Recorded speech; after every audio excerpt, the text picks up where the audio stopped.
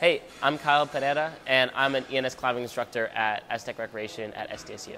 Rock climbing is the activity or the sport of going up to a wall and then climbing up. It gets easy for beginners, and it's really hard for people that want to try really hard. So there's an entrance level for anyone. It shouldn't be that scary of a, a task.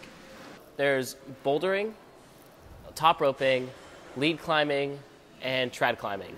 The biggest thing is that just you should just go out there and try it a lot. You can just walk into a gym and they have shoe rentals, they have harness rentals, and they have belay classes. If you really wanted to just get started and go climbing, the, just go to a gym, rent a pair of shoes, and just go to the bouldering wall. You don't really need to know anything. You just need to know how to get to your climbing gym, I guess. And it's just a great entry point that's very easily accessible. Obviously, there's inherent risk, as with any sport. Climbing injuries are very rare as long as you're being safe and acting in a safe manner.